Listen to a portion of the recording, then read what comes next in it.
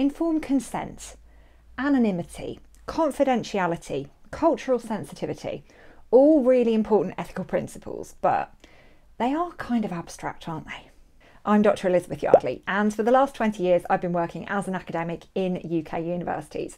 And I have supported a lot of people through the ethical approval process. So I've applied for ethical approval myself. I've sat on research ethics committees. So I've seen it all when it comes to ethics the good, the bad, and the downright shocking.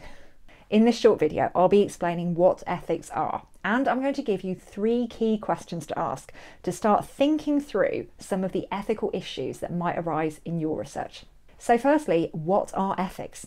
Essentially, ethics are the moral principles and values that guide our behaviour and our decision making.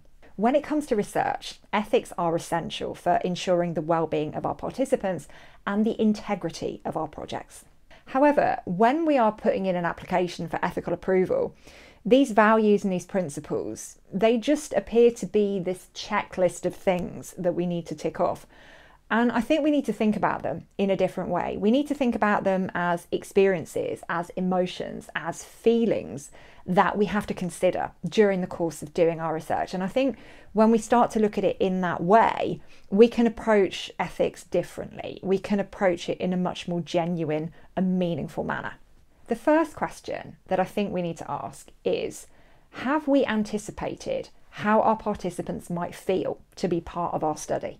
This is about our ability to put ourselves in the shoes of our participants and anticipate how they might be feeling. What are they worried about? What are they concerned about?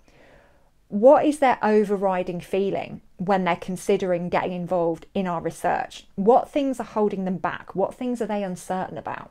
For example, if you're doing a study on a particularly sensitive topic, imagine how your participants might feel about sharing their experiences and their thoughts about that topic. And sometimes we've got to use our imagination a little bit here because very often the topic that we're researching isn't something that we have personally experienced. So we need to be able to put ourselves in our participants' shoes. So if you are looking at something that is a sensitive topic, that is something that, that might cause people to have that hesitation about getting involved. Put yourself in a scenario where there's something that you feel fundamentally embarrassed about, something that you feel really ashamed of. Now imagine that you are being asked to participate in a study about that topic. How would that make you feel? What kind of things are going through your mind when you are considering the thought of getting involved in the study about the thing that you find fundamentally embarrassing and you're really ashamed of? What questions would you have? What would you be worried about? Really give some thought to that and then apply that to your participants and their experiences. And if this is the first time that you're researching with this group of participants, it can be quite helpful to talk to other researchers in your field as well about their experiences of working with this group and the kind of things that they are worried about and they are concerned about and they will need some reassurances about. The second question that you should be asking is is your research respectful? And when we're thinking about respect, essentially here we're referring to having due regard for the feelings and the rights and the wishes of other people. And in order to ensure that your research is respectful, that your approach is respectful, it can be quite useful to think about what would be disrespectful. What kind of approach, what sort of practices would be things that would not have due regard for the feelings and the wishes and the rights of other people? So, for example, failing to obtain consent, engaging in practices that are quite invasive in terms of collecting your data, making people feel embarrassed or trivializing their experiences, being fundamentally careless with the data that you get from them, not being culturally sensitive, not being aware of things that are important, of things that matter to your participants. So, thinking about particular research approaches and practices that would be fundamentally disrespectful can be helpful in figuring out things that you can put in place to ensure that that doesn't happen, things that you can put in place to ensure that your research is respectful.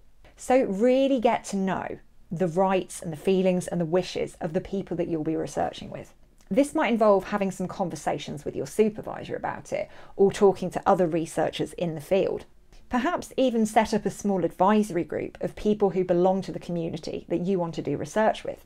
This can be a really helpful thing to do because you have this small group of people who you can bounce ideas off, who you can use as a sounding board because they have experience of being part of this community. They know what particular techniques and approaches are going to go down well and what particular techniques and approaches are not going to go down well and will not get you the kind of response that you want. The third and final question that I think you should be asking is Are you researching with people or are you doing research to them? Doing research to people is something that we want to avoid okay? Because that implies a, a, power dynamic. That implies that you are going in as this kind of high and mighty researcher doing this study on the little people. And this is why we don't use the term research subjects very much anymore. We use the term research participants because that evokes a much more equal kind of distribution of power, a much more equal relationship between the researcher and the people that they're researching with. And when we talk about researching with people, we're talking about participation, we're talking about collaboration, we're talking about co production.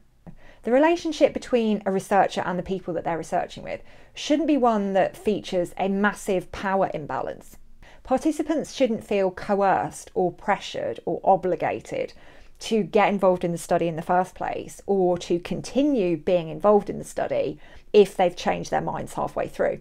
So, one of the things that comes up in relation to this is participants being able to withdraw from the study at any time without fear of judgment or without fear of negative consequences. And that is something that you really have to emphasise when you are informing participants about the research and when they are agreeing to get involved in it.